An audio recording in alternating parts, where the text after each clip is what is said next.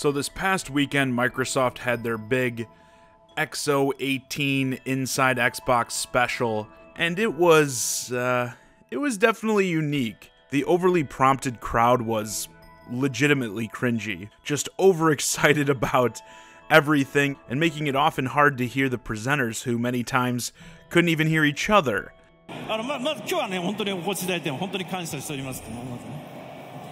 first of all, thank you very much for coming today to talk, hear me talk. はい。ちょちょっと説明するからちょっと聞いてって言 So われて um, I'm going to explain a little bit, so if you could keep quiet a little ちょ bit, ち that'll ょ be much ちょっとね appreciated. ちょっと聞いて。 And in terms of game announcements, it was very weak, honestly. This whole thing felt more like a super long ad for Xbox Game Pass, which they are adding some pretty solid titles to. PUBG, for one, still going strong. Well, it's going, right? But for real, Ori and the Blind Forest is a sweet addition, and the sequel, Will of the Wisps, will be there on day one when it launches. The first game, I really can't say enough positive things about. If you have Game Pass and you haven't played it, there's going to be no excuse now, yet you have to. But while there wasn't much in terms of new games, we did get one blockbuster announcement, more so confirmation as it was rumored heavily before the event, in terms of a studio acquisition. And before I get into that, because it is really going to be the focus of the video, I want to run down the ones they announced back at E3 because I feel like people aren't really grasping how big of plays Microsoft has been making here. At E3, they announced the acquiring of Undead Labs, the team behind the State of Decay series. Despite their jank, I do believe these are the best simulations of surviving a zombie apocalypse, and we know there are many of those out there. Playground Games, the developers of the Forza series, Microsoft only had exclusivity deals with the company prior to this. Now they own them outright. Compulsion Games, who made We Happy Few. The initiative is actually a studio they created that is going to be led by Darrell Gallagher, the former studio head for Crystal Dynamics, which is the studio behind the new Tomb Raider games. And finally, my favorite, Ninja Theory, who made the likes of the depressingly underrated Heavenly Sword on PS3, Enslaved Odyssey to the West, DMC Devil May Cry, and more recently the critically acclaimed Hellblade Senua's Sacrifice, which I I have to mention here how Phil Spencer plugged the physical release of Hellblade, stressing that it is also coming to PS4. Similar to their approach with Minecraft, I really like the, you know, we'll take anyone's money attitude when it makes sense. And at this event, they added two more studios inXile, who, if you like turn based strategy, uh, here you go. They're the makers of Banner Saga and the Wasteland series, Wasteland 3, actually set to come out uh, not too long from now, I think.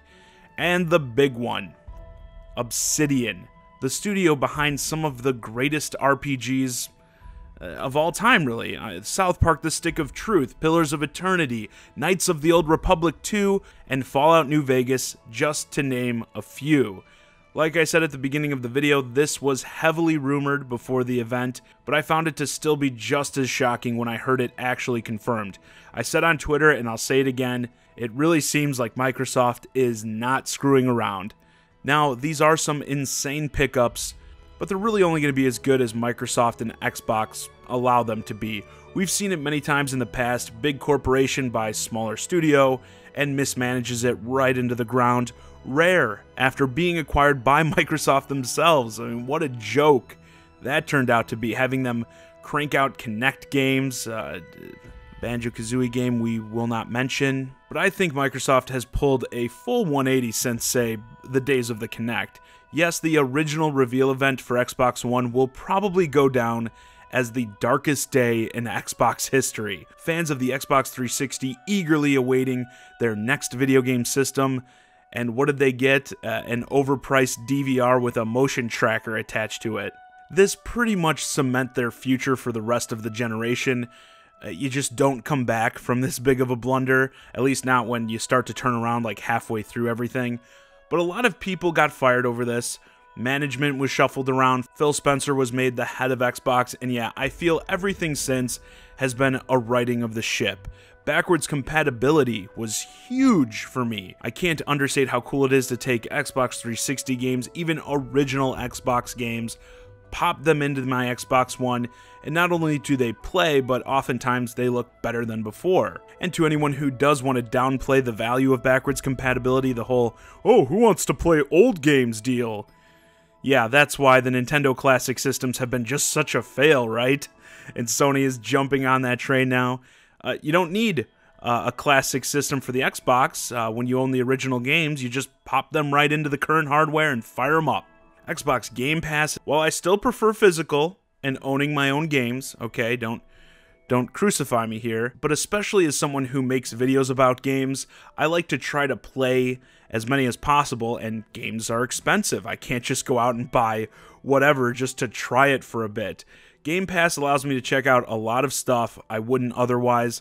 Like, I would never buy a Forza game, but since the newly released Forza Horizon 4 was included with Game Pass, I gave it a go, and while it's certainly still not for me, I have a greater appreciation for it and can understand why it's such a hit with car enthusiasts. Overall, I think this service is a really solid value. The Xbox One X, even though I think it came out too late, tells me they realize what their focus should have been from the start.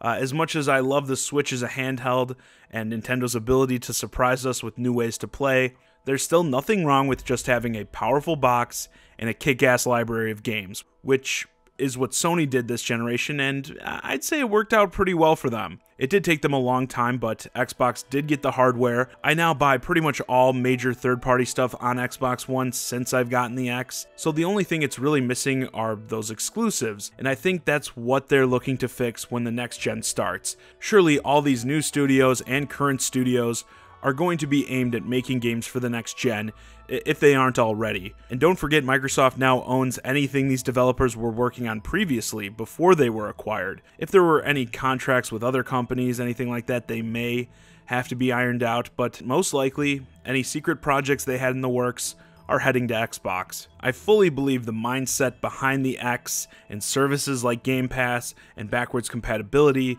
will carry over to the next generation of Xbox.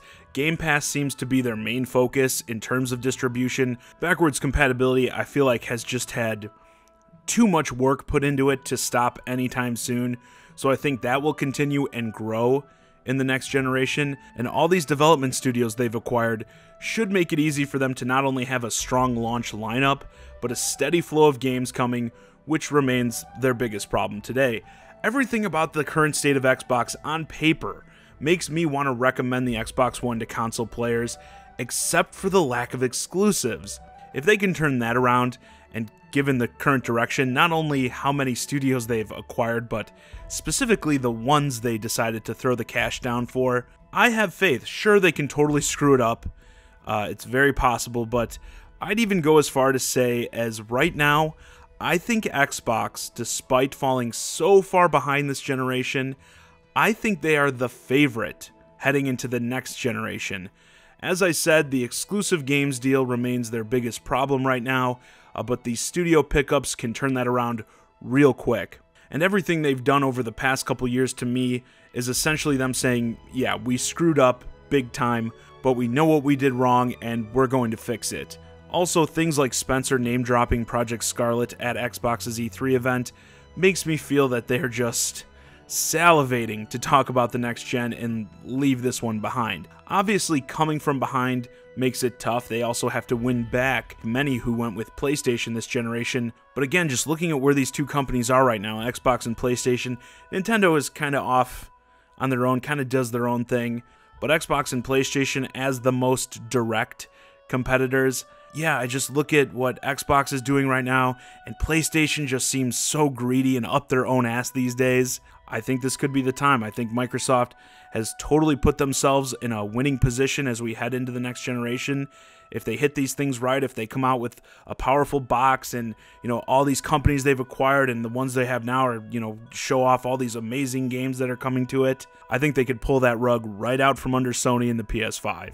And that's really what is so fun and interesting about console generations. When a new one starts, anything can happen. And with that, this video's a wrap. Let me know your thoughts on the potential comeback Microsoft seems to be setting themselves up for come next generation. I think it's almost impossible to argue that they aren't uh, making preparations, making big plays for it. Uh, but do you think they're going to pull it off, or are they going to drop the ball and screw it up? Hey guys, I hope you enjoyed this discussion of Microsoft's preparations for the next gen. If you're new to the channel, please consider subscribing. If you want to keep the conversation going, hit me up on Twitter at Johnny Zaccari. Join my Discord, ChiGuy and Friends, link to both in the description below. And as always, thanks for watching.